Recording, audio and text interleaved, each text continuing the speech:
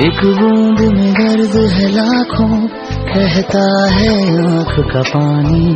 मर हमसे भी न भरेगी अपने जख्मों की निशानी। हाँ शर्ते रखी थी खुशियों ने जिनको था दर्द में बदलना। लफ्जों ने छोड़ रखा था फ़ोटो पे